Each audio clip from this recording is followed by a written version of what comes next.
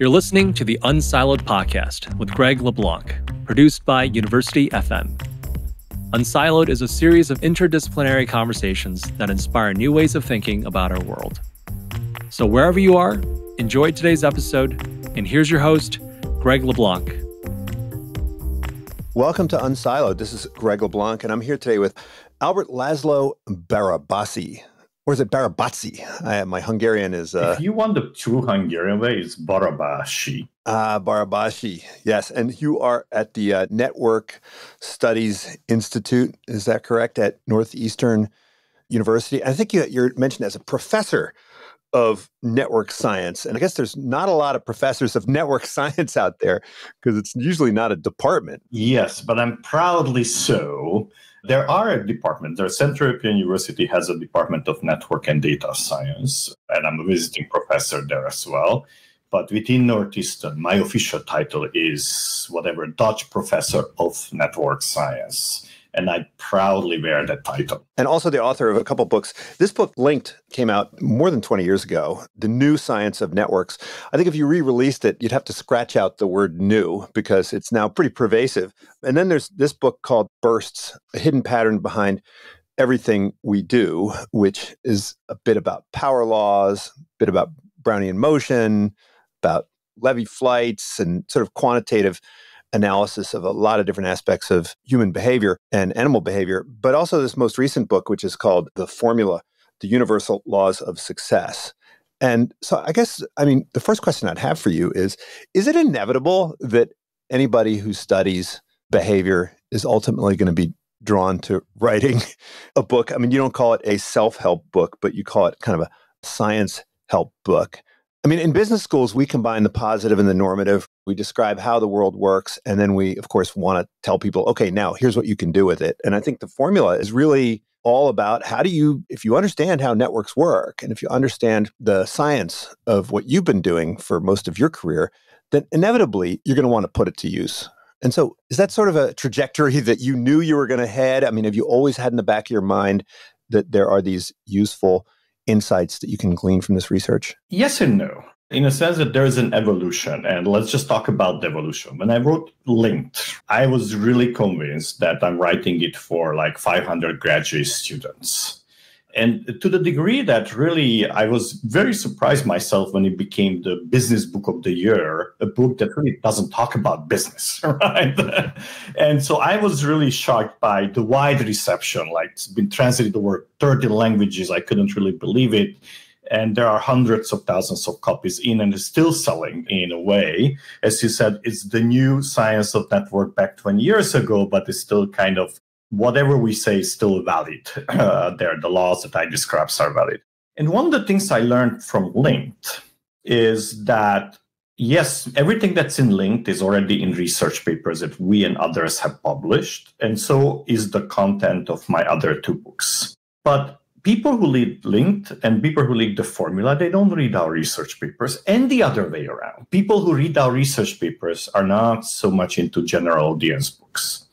So it is really talking to very, very different audience by kind of deciding to write a coherent story. So that was number one. Number two, both Linked and the formula were driven by a deep desire to really share these things.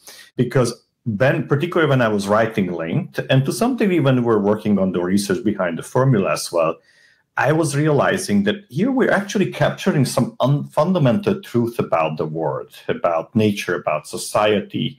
And we are seeing that science is forcing us on a perspective that does not exist or did not exist up to that moment. And it was just in there that you need to bring it out and put it in a context that is accessible to a bigger group of people than those who are actually kind of in the particular field and if I want to be also selfish, it helps me to understand what I'm doing by writing about it. So it's also to kind of organize my thought and kind of feel like kind of get a bigger perspective about where we are and where could we go with this. Now, back in 2002, I mean, this is before social networks. This is before cell phone data was widely available. I mean, we now have so much data on human behavior because we track everything. I mean, the discipline has exploded. But I mean, has all this additional data merely kind of confirmed what we already knew, or has it sort of led to new discoveries in network science? Both. I mean, it certainly gave us lots of opportunity to ask questions that we could not ask up to that moment. But what's kind of remarkable about Linked, even myself, and I go back to it, is that what we had there is still solid. We just know more. And furthermore, this is what happens when a field is being born. In the first few years, you really cover the big teams almost immediately. And this is not to say there are no big teams coming after that, but when you look at the structure of the Linked, it still kind of defined the structure of network science as we look at it today, right? And this is not my genius. This is the community's genius that we were simply in the first two, three years, we asked all those questions that will actually define the canon for many years to come. Now, that being said, of course, with time, the questions have shifted. I do talk a little bit about community finding. Community finding became a very big discipline, right, within network science, so and social networks and so on. So that's one area if you look today of what network scientists are doing, they're taking these ideas to many areas that we were not there before, like medicine, right? Even though I talk about network biology, I don't talk about network medicine. Now, network medicine is very hot. And social scientists are now using networks to look at disinformation and fake news and so on. So the accents and the questions have shifted but that didn't invalidate those early questions and the answers we find to them.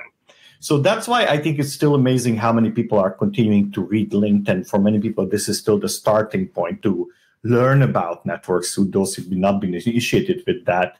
And I want to say that it has not been kind of, let's put it this way, it has aged well. Well, I mean, the difference between studying humans and studying non humans is that when we learn about these underlying rules and principles, we can change our behavior to take advantage of them, right? So, to the extent that we've been learning a lot about networks, and I guess to the extent that there are going to be people that are going to read your book, is that going to sort of create a feedback loop that leads to the phenomena itself changing? I mean, I'm in the world of finance, and when the Black Scholes theorem was created, the behavior actually began to resemble the model.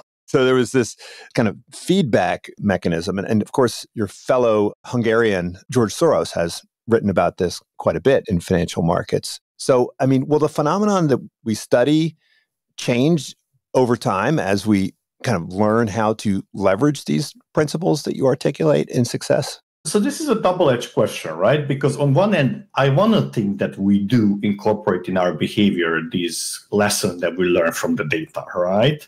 And I certainly do, right? And I certainly think network like and I advise people network like and I do what I preach, right? So in a sense that it certainly kind of helped me to give a perspective and make decisions in a much faster way because I know the basics. That being said, is that big enough to fundamentally change the behavior or rather now having the framework we recognize and I think is the second. So it's not much that people read the formula or read the link and then they start doing things according to the laws, but rather you start seeing the laws in action in a way that you did not see that before.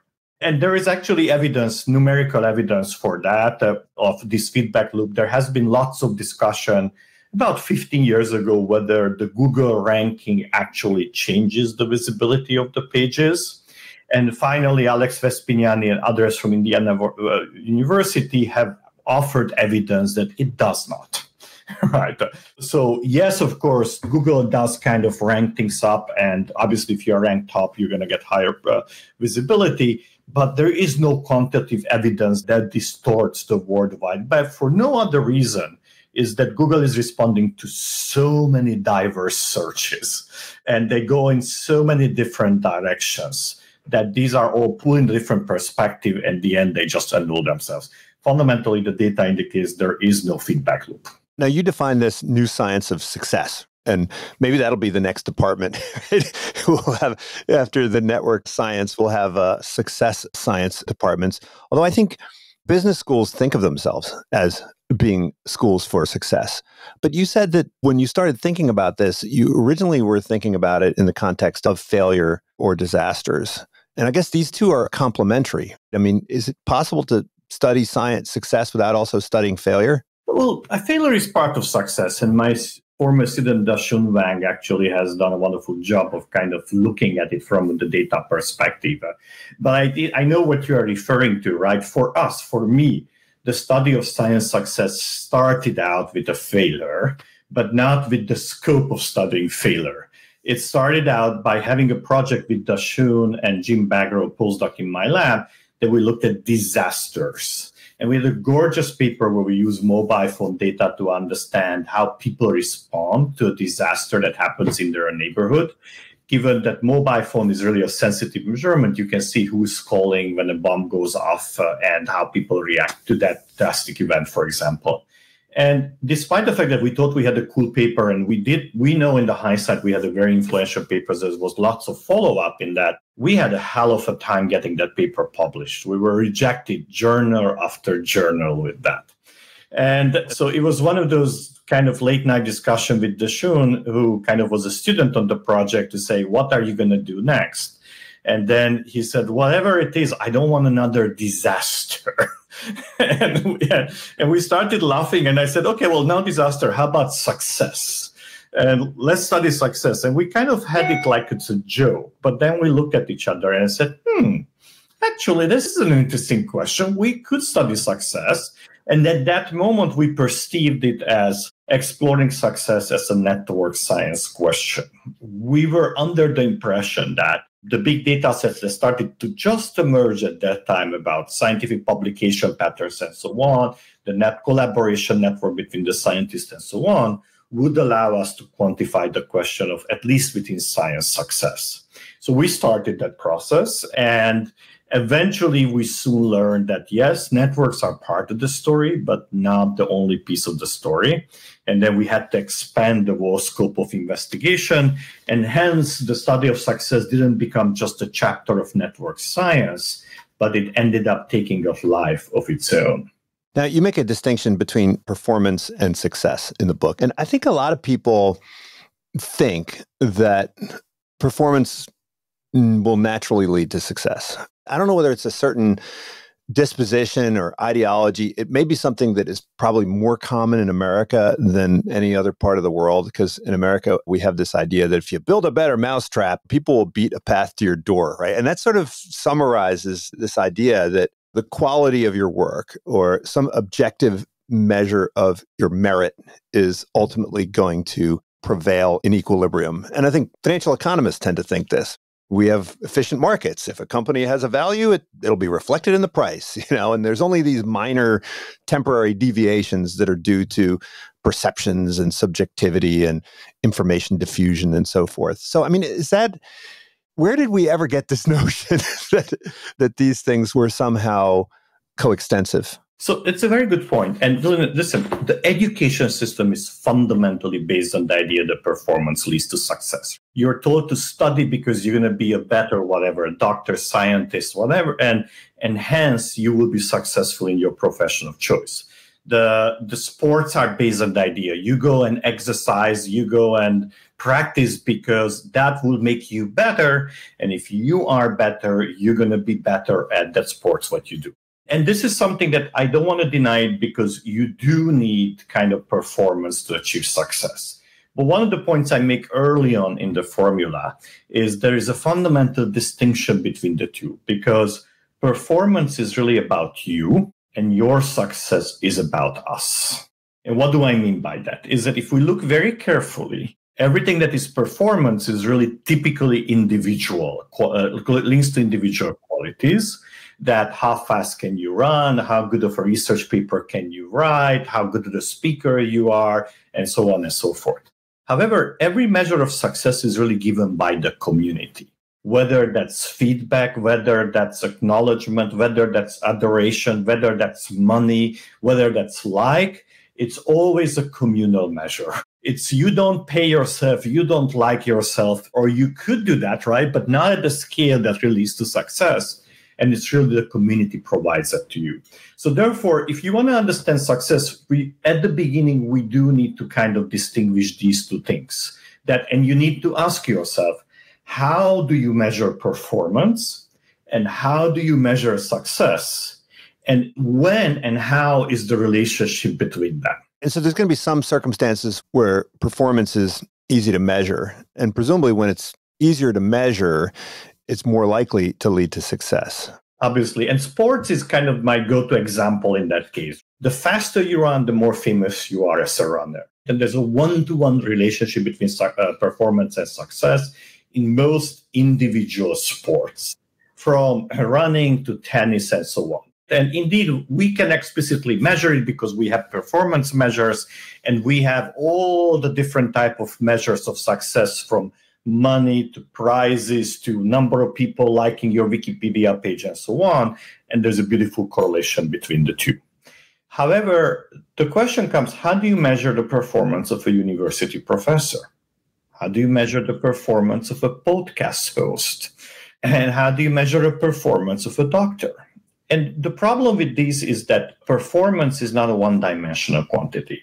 There's so many dimensions of performance when it comes to teaching, when it comes to having a podcast, when it comes to curing people. And hence, it becomes virtually unmeasurable. Yet, success is not unmeasurable. So, in most of us, the vast majority of humanity lives, works in professions where there is not an objective measure of performance but they're very clear measures of success. And so, really, the formula is about all of the formula is really about how and when do these two connect. And I want to emphasize from the very beginning that this book and the whole science behind it is not about how do you make an unsuccessful or a low performance individual successful. If you got that book for that reason, you're reading it for the wrong reason, right? The real problem is this and kind of the data backs that one to some degree up. So when you don't have an objective measure of performance, that doesn't mean that you cannot distinguish weak people from strong people. You can easily do that. You know who is a strong doctor, you know who is a good teacher in general. When you put two individuals next to each other in those areas, it's almost impossible to say who is better, who is a better teacher. This is again, it's easy to say bad from good, but good from good is virtually impossible to distinguish. Yet, we pick one and we make a superstar and we ignore the rest. So the real question comes, and this is really the topic of the formula how do we do that? And what are the mechanisms and why do we do that? What are the mechanisms that really forces us that even the, in spaces where we cannot distinguish performance, we decide to have a winner, and who is going to be that winner? But the extent to which we can measure performance, I mean, this is not exogenous. You can invest in performance metrics. I'm thinking, you know, within an organization, I did a whole course on HR analytics, and, and the idea was you can move for certain professions, certain occupations, certain types of employees. You can design metrics. You can start to track things that you didn't track before and then start to move things from a world where you couldn't measure performance to one where you could. And so that's presumably endogenous right? It's a function of how much you're willing to invest in the design of these performance metrics could do that right and you will measure what you are setting up to measure but is that really what matters from an organizational perspective that's the real question, right? And often we become the slaves of metrics.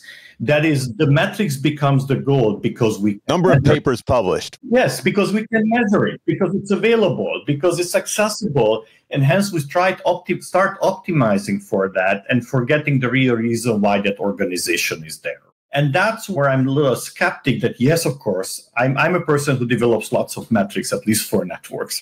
So don't get me wrong, I'm very much in favor of the metrics, but then comes how do you interpret the metrics, right? And how do you use them? And when you have a multidimensional success measure or performance measure in both of them, then the question is which one do you emphasize and which one you're going to measure? And the answer is very simple. You always measure what you can, but that may not be the one you need. So I always kind of suggest let's go step and take a step back and understand the underlying forces that really distinguish performance and success. And let's just talk for a second what are those? And one of them is, I call the second law in the book, that performance is bounded and success is unbounded. What do we mean by that? Well, every time we can measure performance, turns out that it really moves in a very narrow range, which is to say, Usain Bolt used to be the fastest person on earth, but he wasn't running a hundred or thousand times faster than I do. And I'm not a good runner at all, right? And he runs less than 10 times faster than I do. And he wins the competition by running less than 1% faster than the number two. And what is true for running, which means that the really the runner's speeds are in a very, very narrow range, if you look at it numerically, is true for most performance that we can measure at that, that typically there's a very narrow variation of performance. Now, this is not a problem if you have a chronometer. But if you don't have a chronometer and you cannot distinguish a 0.1 second difference, then who, who do you decide who's the best? And even in sports, we fail. And I think the example that I bring in the book is something comes close. I think the Brazil Olympics in swimming, and I think in 100 meter, there were three first prizes that including one of the Hungarian swimmers, as well as Phelps from the US. And the third one had to share the whatever prize they all got, be, not because they didn't know who arrived first. They knew exactly there was a re- video recording who touched the the right line first, but because there was a two and a half centimeter uncertainty about the size of the swimming pool. And the distance, the time difference was less than you'd need to swim the two and a half centimeters. So they could, it was a statistically indistinguishable who is the winner in this particular case. So when we get to sports where you have a thousand cameras looking and taking a photo of who is touching that first, right? And we cannot distinguish who is the best, how are we going to find who is the best podcast host, right? So this is what I say performance is bounded. Every time we can measure it moves in a very narrow range. There are some are better than the other one, but the variability is not huge. And again, easy to say good from bad, not easy to say good from good. Success, however, is unbounded. And what do I mean by that? And the best example that I often use is also kind of comes from my own life. When my previous book Burst appeared, I was in New York talking to my editor, and I said, "Let's see who is the competition, right? Who is on the New York Times bestseller list? Whom do we have to beat?" And I think it was Nicholas Sparks' latest book that just came out the same week that my book. Yeah, you're not going to beat him. well, you know, you, you always dream about it. And what was odd about it is that he sold more than 100,000 copies that week. And you can get to the New York Times bestseller list by selling three to 10,000 copies. And typically, with the 10,000 number, you are number one. And with 200,000, he was still number two. So, how is that possible? Because the same week came out the Dan Brown's latest book. I don't remember the title now, but what matters is that book sold 1.2 million books that week. So when we talk about performance bounded, is that how much better writer is Dan Brown's than Sparks? Let's not debate that. But it's certainly not a fivefold and not that the differences are orders of magnitude bigger when it comes to the success measure. And the reason they can be because performance is something that you can do and that can be only limited of how much you change but success is a collective thing we all buy the book we all listen to your podcast and hence without extra effort you can get huge increase in your success measures so then the big question is really if success is unbounded and performance is bounded how do we pick the winner and how do we give it so much success right when we are aware of the fact that we're really unable to see who's better. Well, I mean, this idea of winner take all, I mean, the degree to which we, we see this concentration, that does change over time. I mean, for certain reasons related to technology, it would be impossible for a pianist to be successful in the 19th century. I mean, you've got Liszt. I mean, Liszt can only go to so many concert halls. There were no CDs, there was no streaming. But I remember in the 90s when Netflix and Amazon and all these companies started out, there was this notion of the long tail. And everyone thought, oh, wow, this is great. We're going to see a flattening of the distribution and all these weird, exotic preferences are going to finally see the light of day and you know won't be the beatles and everybody else it'll be lots and lots of stuff and what we saw was that we actually got much more concentrated. Dan Brown and J.K. Rowling and you know those sorts of things. And I mean, did that surprise you, or was that sort of something you would have predicted back in? Well, I mean, I wrote my first book, Linked, about preferential attachment and the emergence of power laws in the context of networks, and that still is my claim to fame professionally as well. Of why do we have the Googles and the Amazons and the highly connected websites out there, and why do they have such an exceptional number of links? And it turns out, yes, it's partly to the services what they provide, which we consider fitness, but it's also an intrinsic property of the networks that the reach gets richer, which we mathematically express as preferential attachment, that the likelihood that you get new links or new whatever is proportional to how much you do have. So it's not surprising. The question is really that how is this really seen in action? And given that, when does performance matter? In this case. And one of the kind of points I make in the book is that yes, performance does drive success. And those who get this exceptional reward are typically do deserve it, right? So this is not again to say a recipe for how you make something successful that doesn't have the performance. But when the performance is hard to measure, the network takes over, and that's what drives success. That is, if you're not aware of the performance or you, or you cannot distinguish, something's still going to win. And that will not be any longer dependent on the performance, but will be a network effect. And that's where really networks come in. And there's over and over many experiments that I discuss in the book of how it's totally unpredictable in some cases of who among the potential winners will be the winner. This is not to say that one cannot influence it and that is said that there are no mechanisms we don't we that that kind of tries what is that going to be, and this is really what the book is about is those mechanisms. But fundamentally, when performance is not measurable, then it becomes a network phenomenon. But I mean, the extent to which preferential attachment is a factor. I mean, it's a function of the size of the network. It's a function of the observability and the sequentiality. So I remember this was, it may have been back in the 90s. There was a professor at Harvard Business School who had written some book and he wanted to make it into a bestseller. So I forget, I don't know if it's apocryphal. I haven't seen any validation of this, but he realized that the New York Times, when they determined what the bestsellers were, is that there were these two distribution warehouses, one in New York and one in LA, and that was their sample. And so he said, I'm going to go into some Barnes and Noble in New York and buy 100 copies of my book, and I'm going to go to LA and buy 100 copies of my book. This got him up onto the you know number eight, and then boom, from there on in, you know, it was a bestseller. Now I don't think it was a terrible book, but there were probably a dozen books that had the same basic set of bullet points. Now, of course, the sampling method is a little more complicated, but it's clear that if you want to jumpstart preferential attachment, there are now these widely understood ways to make it happen, right? Yes, and that's the point. So I think it's there's no reason to debate whether preferential attachment is there. We have seen so much evidence across many systems, and it's very measurable, right? So it's not just a qualitative statement we make, but in systems where we have enough data, you can explicitly measure the magnitude of preferential attachment, right?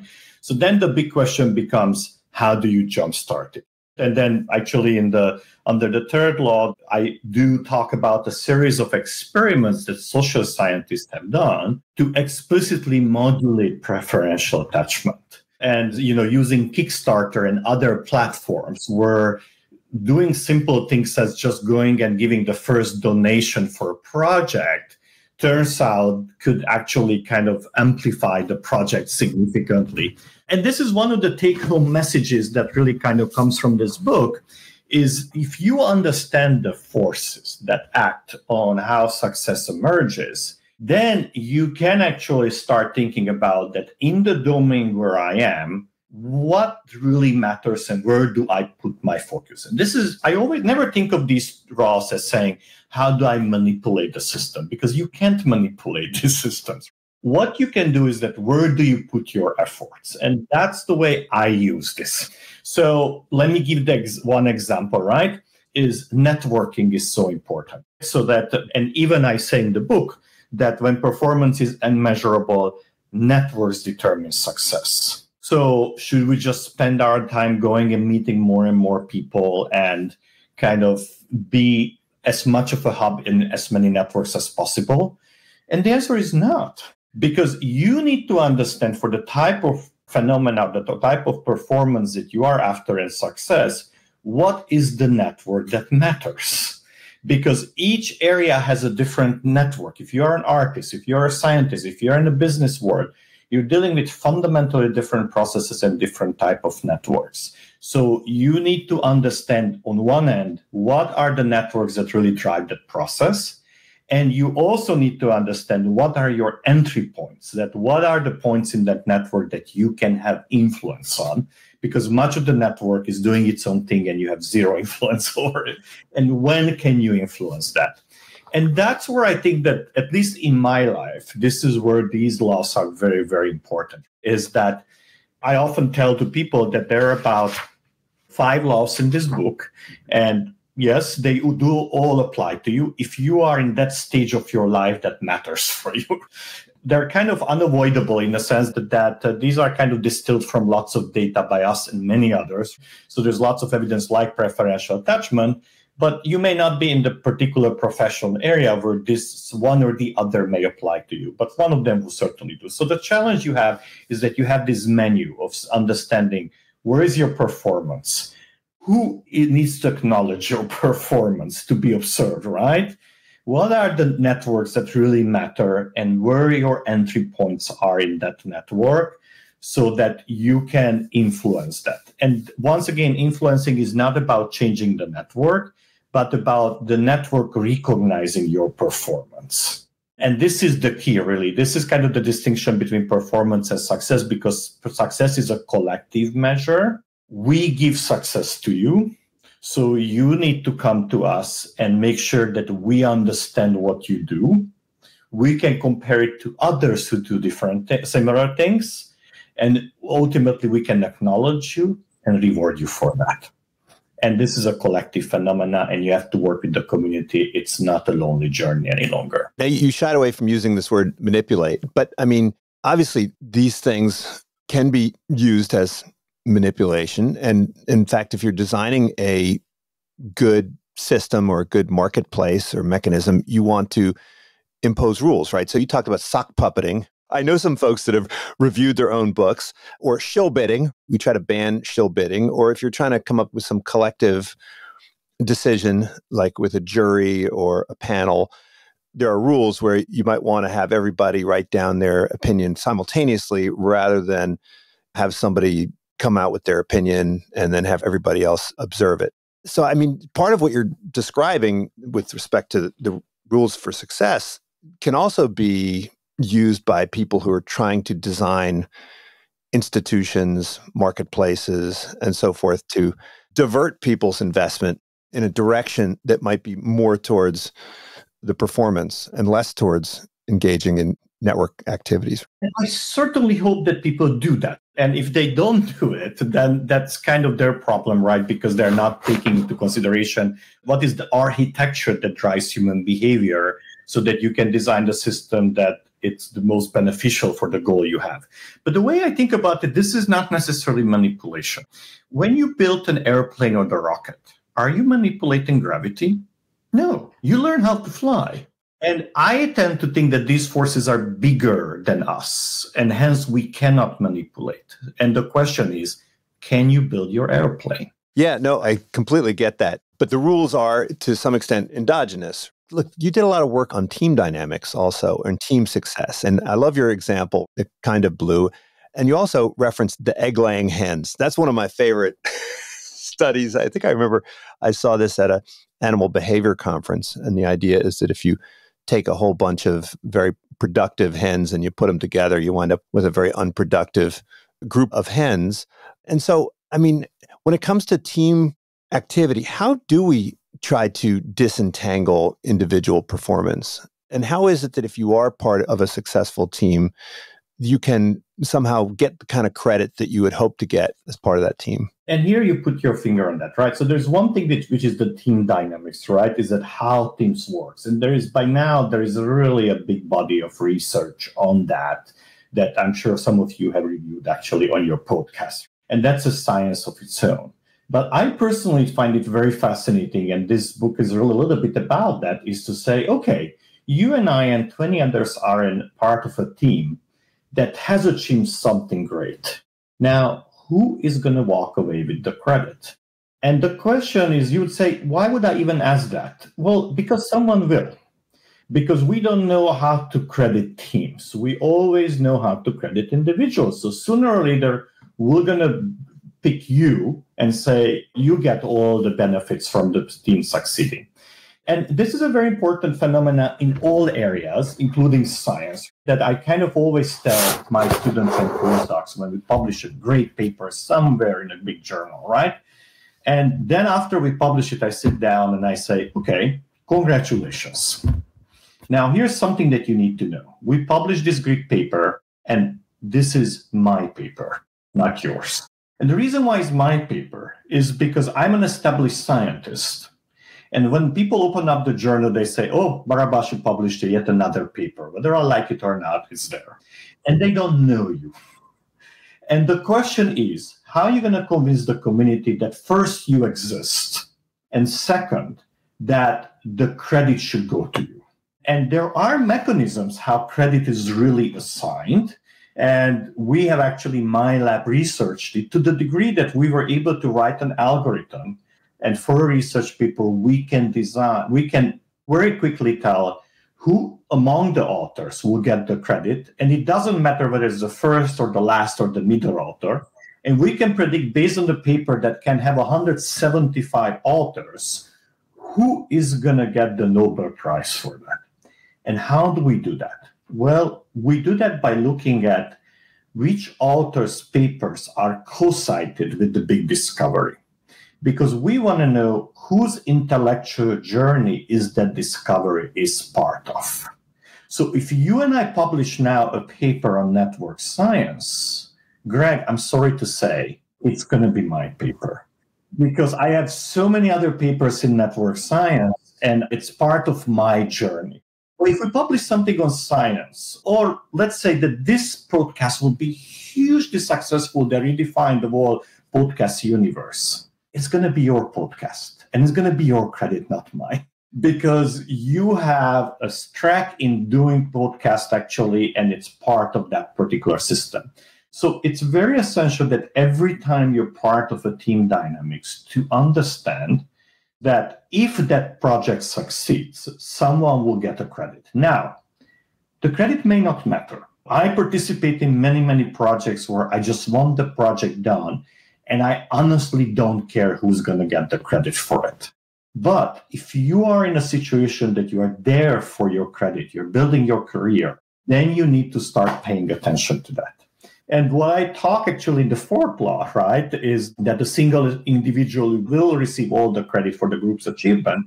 I talk about the mechanisms how credit is assigned and what is that you need to do after that work is achieved, that discovery is being made or whatever, to change that if you want. And I have seen many examples that I discuss in my group as well, where credit assignment can change, but this will never happen by itself it's always a laborious process that you have to be part of.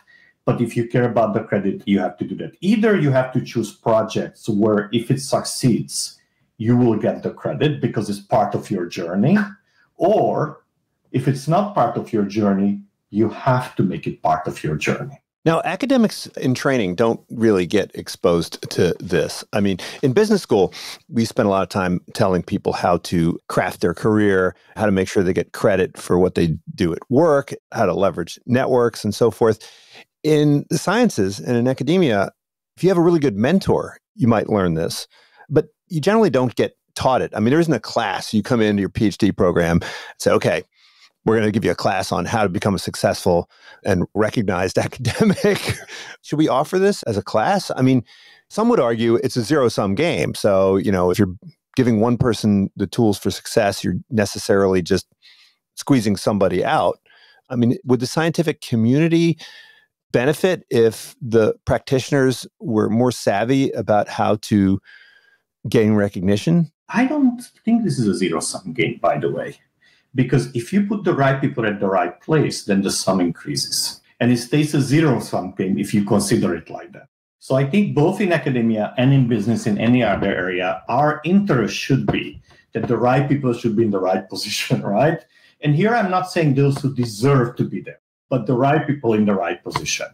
And yes, you're right that in academia, we don't train. We're very shy of talking about these processes. And we still kind of approach the academic career as performance matters and only performance matters. But on the other hand, to achieve the performance in academia, there's so many processes that involve kind of understanding how you succeed in this process. Like when I came to America to do my PhD, I had no idea what the difference between Boston University and Harvard or MIT. I had zero understanding of that.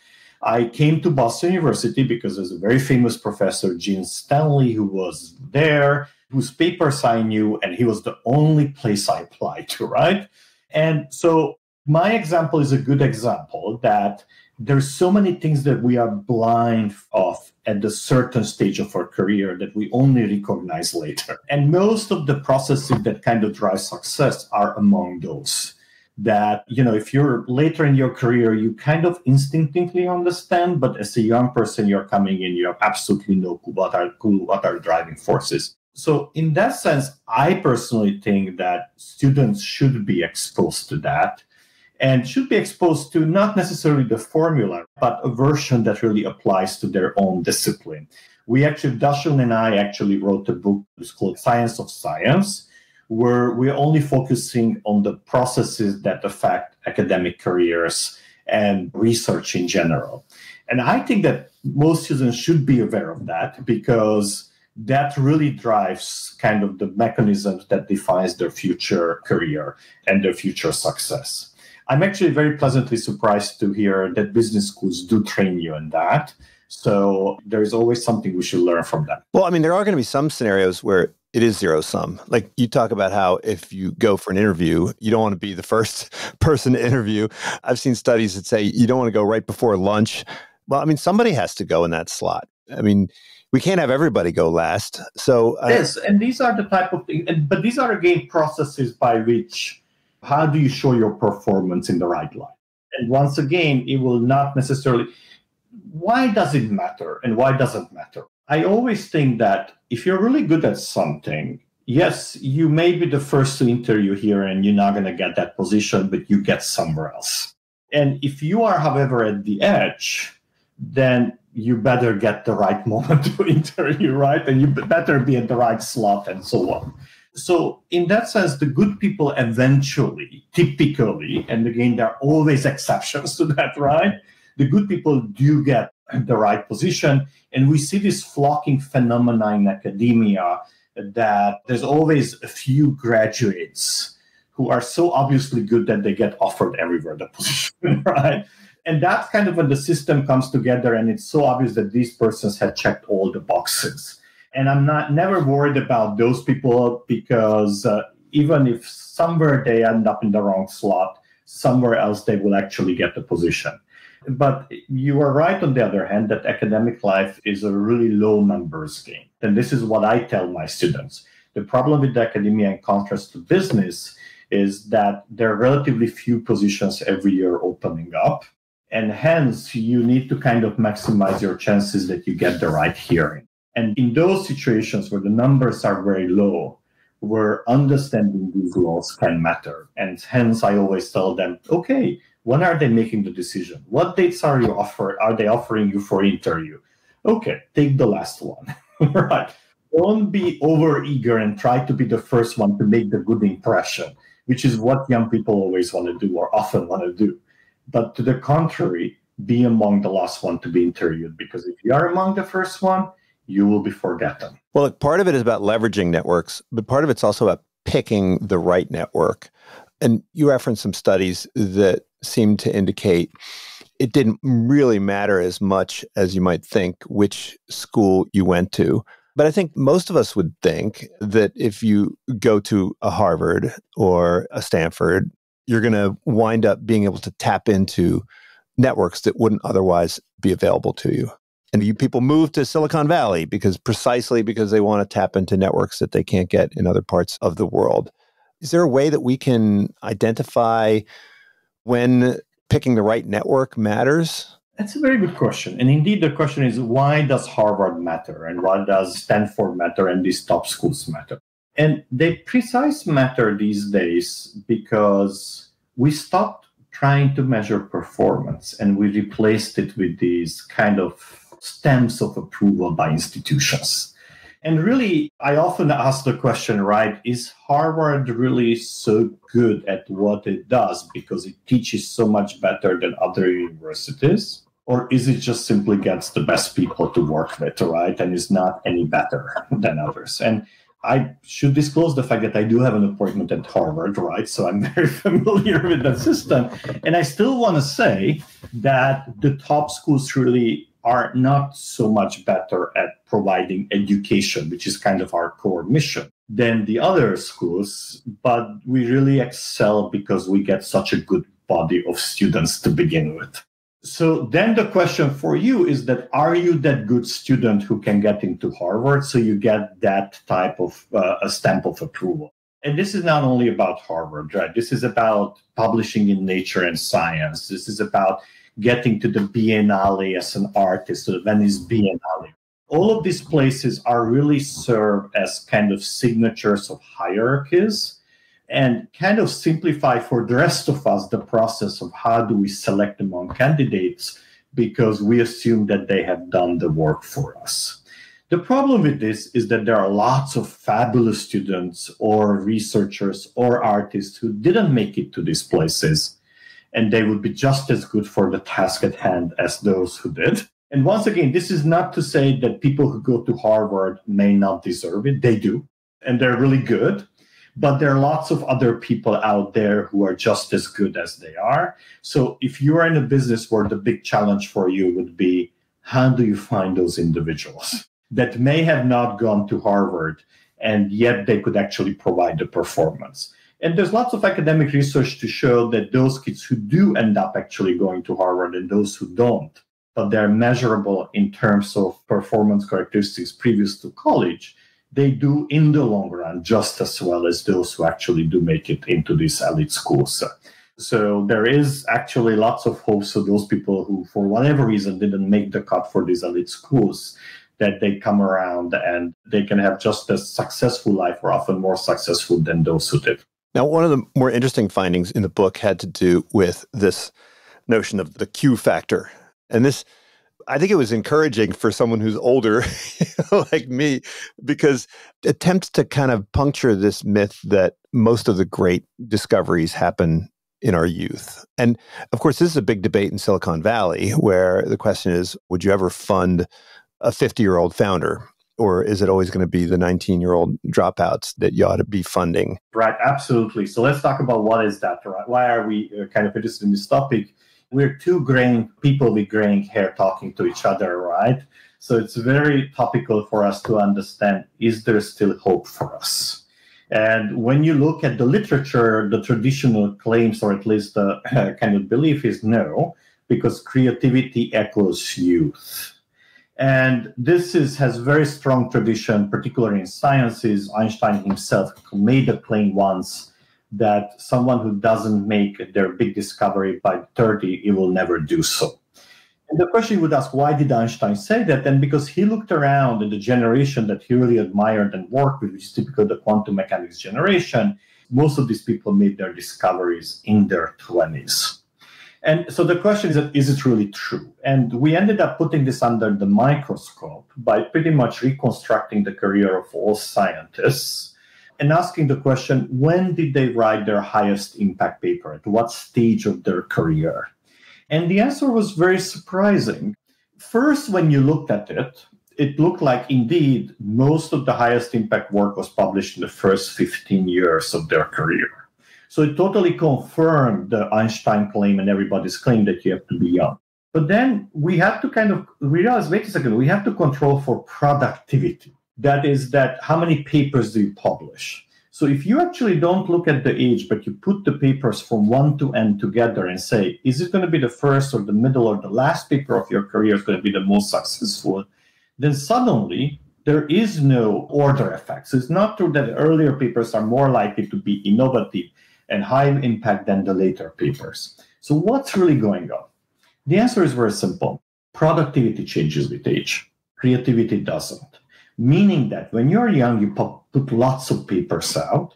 And what we mathematically showed is that really it's impossible to predict which of your papers will be successful. So it's like picking lottery tickets.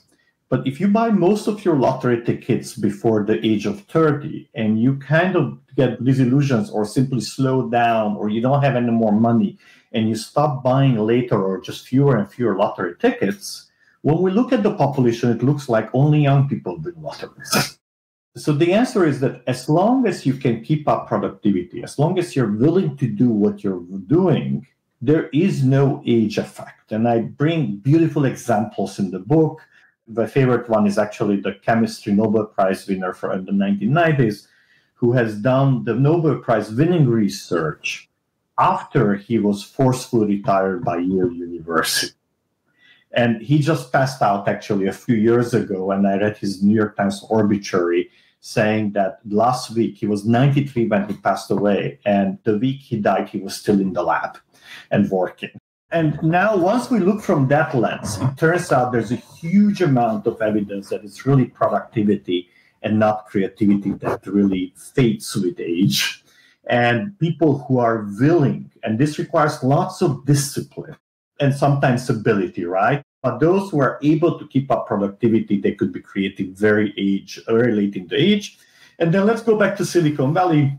This is not in the book because that research wasn't out there but some colleagues from Northwestern University Business School, they actually looked at who does successful companies in function of age. Like, what is the age of the founder? Will there be an exit in the company? There's measure of success, whether there was a successful exit, whether the company went public or was sold. And it turns out that I believe it's about three times more likely that you will form a successful company if you are in the 50s than if you are in the 20s or 30s. It's just that there's fewer companies founded by 50 year olds. Yes. So what's really happening here is really an, an attention like you somebody in the 20s forms a company that is successful that's a wonderful story right that we all love it and we tend to kind of focus on that and we create urban myth on that. And we tend to ignore the many other companies who were funded by much older individuals who were in the long run just as successful as the 20 years old and so on. But when you look at the data across many, many disciplines, the jury is still very clear that creativity and age don't correlate. Productivity and age correlate. So then what accounts for the decline in productivity? I mean, I love this. You did some in the Bursts book, you talked about Einstein's correspondence, and it looked like the amount of correspondence that he did kind of went up as he got older because he got more famous and so everybody's writing him. I mean, is that the kind of stuff that gets in the I mean, apart from family and so forth? I mean, what is it that leads to this reduction in productivity? Health, family, but fame. And fame is very interesting thing, right? Because what fame does is it suddenly opens up opportunities for processes that they're just as valuable for the individuals and for the community, but they're no longer measured based on the previous metric. So when you decide to become a department chair or a dean, you may be contributing to science just as much as you did when you were writing papers but is no longer visible to us as a simple metrics of what's your impact on the scientific community. So on one end, really is that, and this is kind of the curse of many successful scientists. And this is the reason why I never agreed to be on any committee or any rule or any function or any directorship, is because we end up being attracted by these opportunities. We cannot say no. And hence, fundamentally, we cannot focus at what we are really good at. So the reasons for the declining productivity, as we just discussed, are many. And family obviously is a very important one, and health and so on. And really, what is rare is this is why we see so few people kind of really breaking through at later age. Is rare for somebody to be able to keep it up. But the data shows that it's totally random in the space of your projects, which is going to be the most successful one. And I urge you, I'm sure you have inner data of how many people actually listen to your podcasts and look at the sequence of podcasts. And of course account for the time because like the most recent one I haven't had enough time to acquire the live right listenership and see whether to what degree this is really random and may not even be connected necessarily to the person you are interviewing right? So in that sense if your goal is to really succeed in a particular area then there's one thing that you can help the lot that potential for success keep doing it and maybe we should start putting our deans and department chairs as co-authors. right? I'm sure they would love that. Right? They'd love to. Yes, but then what, what are we doing right? right? Uh, yes, that would be yes. It may not work, and because what we should do, however, is to find metrics that acknowledge their performance and the work that they're doing for us. Because in the moment you're willing to be the dean, you're doing lots of stuff that I don't have to do.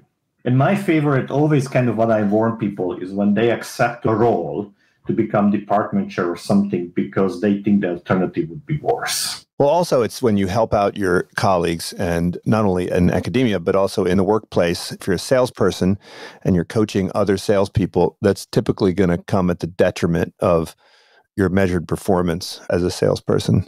Absolutely. And actually, in academia, this has been even measured. There's some colleagues who ended up going and putting together who are acknowledged in the paper, who are not quoted. And it turns out that there are some really super helpers that people who are really never co-authors in the papers, but if they help with the paper and they appear in acknowledgement, the paper will have much bigger impact than those that are not there. So these are the silent helpers of science that you can actually detect using this data. And that once they're present, they're kind of acting as these invisible coaches and all the credit goes to the superstars who keep the goals. Well, of course, you got to make sure those are real helpers. And I know in law reviews, if you want to get your law review article published, you thank all sorts of famous people, regardless of whether they helped you or not. In science, we don't have that. So that acknowledgement seems to be relatively honest in the sense that we only put people who have you discussed the project at least or they provided something. And it's remarkable that you need these kind of silent coaches in the department for people to succeed. Well, László, thanks so much for joining me. We barely really scratched the surface of your books. We didn't even talk about Transylvanian and Hungarian history, which is, I tell you, after reading Burst, it really made me want to travel there to, to see uh, that part of the world. And come and see. It's beautiful. You will never be disappointed. It's a very different experience. I'm heading there in a week. Okay. And also lots of stuff on Poisson distributions and other kinds of mathematical patterns. Anyway, thanks so much for joining me. We'll hopefully talk again soon, and I look forward to the next book. Thank you, Greg. Appreciate uh, for inviting me. Thank you for tuning in to the Unsiloed podcast produced by University FM. If you enjoyed today's episode, please give us a five star rating and review in your favorite listening app.